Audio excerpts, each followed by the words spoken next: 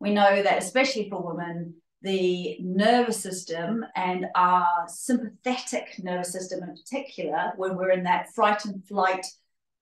all switched on state,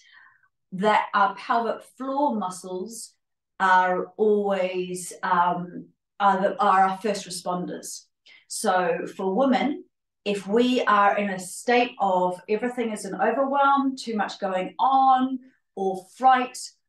watching the news, we tend to actually have the repercussions in our pelvic floor muscles before anywhere else. So if you are feeling anxious, heart palpitations, neck, jaw, shoulder pain, tension,